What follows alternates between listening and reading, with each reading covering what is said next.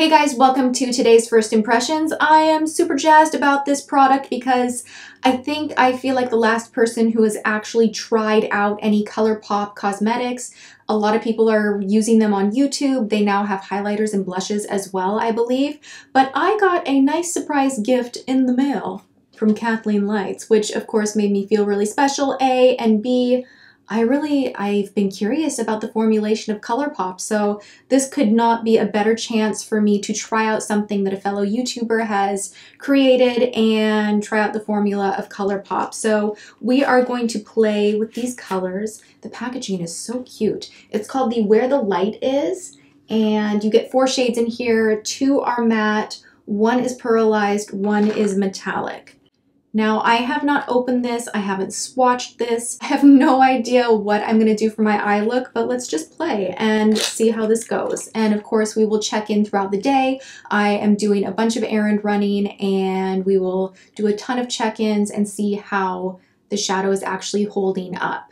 So, these all go together really well. They're very neutral and pretty, so let's try this out. Kind of feels like concealer. That's weird.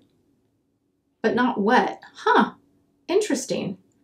Okay, so it's very bouncy. It kind of reminds me of the Maybelline Bouncy Blushes. That is interesting. And does swatch out really very nice. Uh, okay, so that is the shade Cornelius. Super Shock Shadow, that's the matte shade. This is another matte shade called Glow. I can already tell we're gonna use this all over the eye. But let's see here, Blaze is a metallic shadow. Immediately when I opened the package up, my eye just kind of went, Wah. and I love this kind of a bronzy, look how it's swatching on my finger. That's pretty bomb. Wow. All right, that's gonna be like all over my eyelid in two seconds. That's really, really pretty. Oh, the, how cute. The last shade is actually called Kathleen Lights. And this is a pearlized finish. Get this open. And this is just a beautiful coppery bronze shade. Really soft. This one is the softest of all of them that I have touched. Here's how it is on my fingertip. Holy smokes. Wow. All right, so um, I'm hopping on the ColourPop train right about now because these are really, really beautiful. Um, I need a napkin or something. I got to get a napkin. Shy, I'm assuming these are best applied with fingertips. We're going to start with this matte shade and just take it all over. I really don't know much about how these are supposed to layer or anything. Um, I feel like other YouTubers are going to watch me and be like, you're doing it wrong. That's not how you do a ColourPop. Okay, so that's going all over the lid really nicely. This is a Zoeva, not necessarily an eye brush. It's big and fat. It's a concealer buffer brush, but I like how rounded the tip is for really getting in the crease and like buffing partially on the lid and in the crease. This is so interesting. It's so pigmented.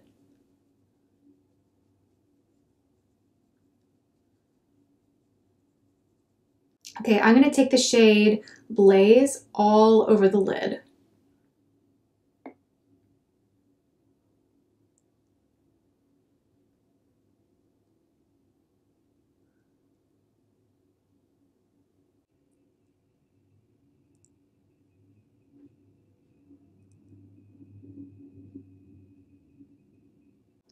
This is definitely quick shadow. Like I'm not really doing much detail work. I'm just using my fingers and it's really pigmented straight away, but it does blend really nicely. So I like that.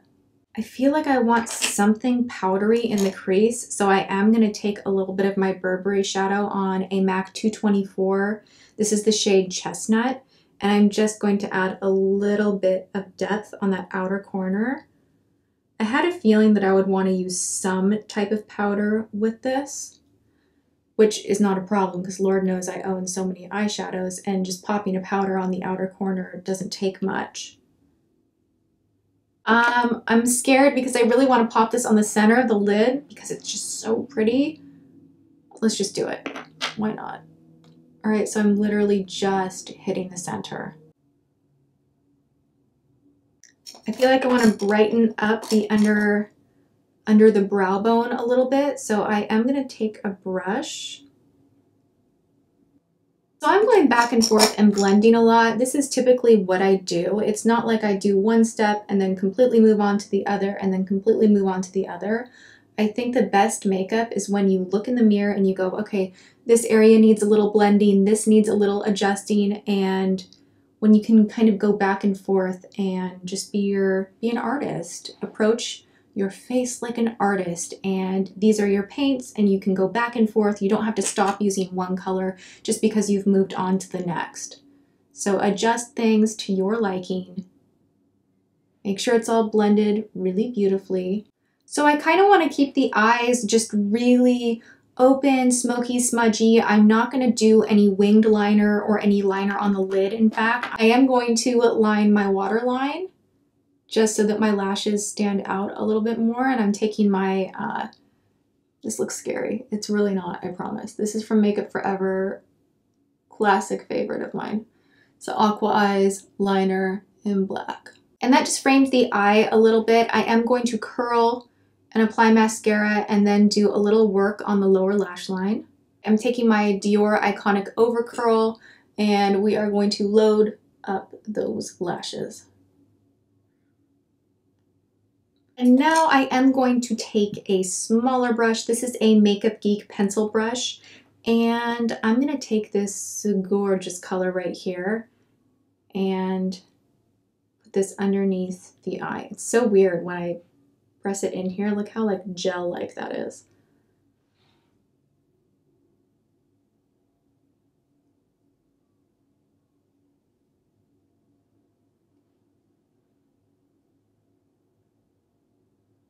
And just for kicks, let's take some of the bronzier shade, Blaze, and go on the outer portion.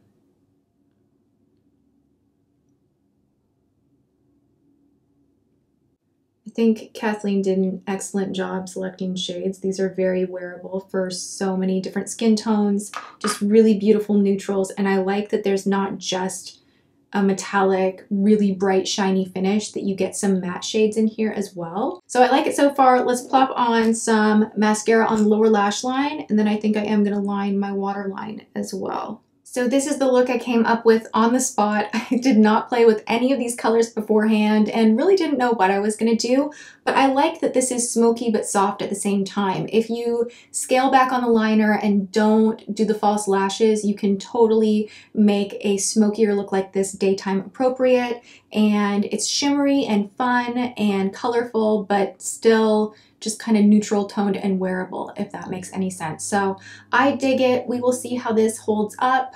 I need to go and run some errands, so I will check back in with you guys in just a little bit. So far I feel really natural. I feel like my eyes are shimmery, but in the just enough kind of a way. And because I foregoed, foregoed, Forewent. Forewent. Because I, I skipped out on liner, I and false lashes, I feel like this does have a more wearable kind of almost bohemian vibe. Like I feel very just smudgy and sparkly and it has really good staying power though. I literally am gonna need to scrub my hand with makeup remover and not just soap because this won't wash off.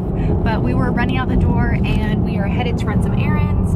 So that's what's up. Check in number one. It is 2.30 in the afternoon. So far, good. So the errand running continues. We're at Glendale Galleria. I thought you said we were going to Burbank. James needs his glasses fixed, so we're going to Oakley to get a little plastic thing for his glasses, and it ended up being in the mall, so we might eat in the food court. That might happen.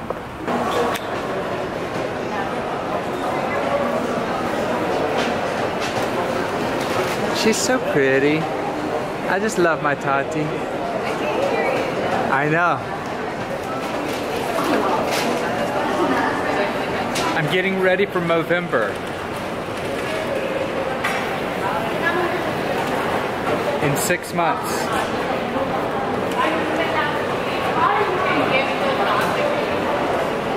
You know what? All of you guys that were like here years ago, I don't know if you remember, but I used to have a goatee. And I thought that it made me look mysterious and dangerous. And I don't like this clean shaven stuff, so I, am like trying to grow it out, and it's really itchy. And Tati doesn't like it. She's looking at me right now, like, what are you doing talking to my camera? But um, yeah, what do you think? Uh, clean shaven or goatee? Well, oh man, god dang it. Can you give me the fork, please? What's wrong with your fork? I just scraped underneath the table. Princess and the pea. I'm just having issues Oh my today. gosh. I am like, okay, my germaphobe self is like coming out to play. I can't handle it. And I'm really hungry and I just need to eat. Oh, you're the best. You have one ready? Thanks. Mmm. The mall lighting is think my makeup is doing okay. I keep doing that instead of just looking down. Uh, still sparkly, still a little bit shiny, shimmery, and yeah, that's about it. Puka! It's so exciting! Puka! My Lulu's order came in just in time for Coachella. Um, I'm not going to go through everything in this video, but I will be wearing a lot of this and vlogging at Coachella. So, yay, I'm so excited. Oh, it's just really quickly. Look at these. Cute. Just nude heels. Probably not for Coachella, but still. Okay. Hey guys, it's about 10.30 at night. I need to jump in the shower because I'm a sweaty mess. This is my real day and I went for a run most of my makeup is gone. However, I did want to sit down and share with you guys that my eye makeup is still pretty strong. It is still there. I am very impressed with the staying power of the ColourPop shadows. I really like them. I want more colors. I actually already went online and I was like, ding, ding, ding. I'd like purple, I'd like some taupe, I'd like some shimmery champagne. Um, I like these shades. They are very warm shades and I kind of teeter back and forth. I like some cool tone whatnot in the mix as well, but these shades are beautiful. I definitely will be using them, especially that copper shade is kind of an accent with other powder shadows that I already use and love often. I think that I'm really excited to see how it works in with other products and not just all ColourPop. Why is there fuzz flying around my room? What the heck? Anyway, I like it. I probably look like crap right now trying to get in shape. I'm trying to gain some muscle and work out and be healthier, and uh, it's a challenge because I'm filming all the time. So forgive my face that I have had a long day, but take a good close look at this shadow because it's still sparkly. So bravo ColourPop Cosmetics and Kathleen Lights, you are cute as can be and I love this little kit that you created. Um, I definitely think it is worth an order and it's only 20 bucks. She actually sent me a note with the package and it said, uh, I wanted you to be one of the first to try this out because that's not expensive.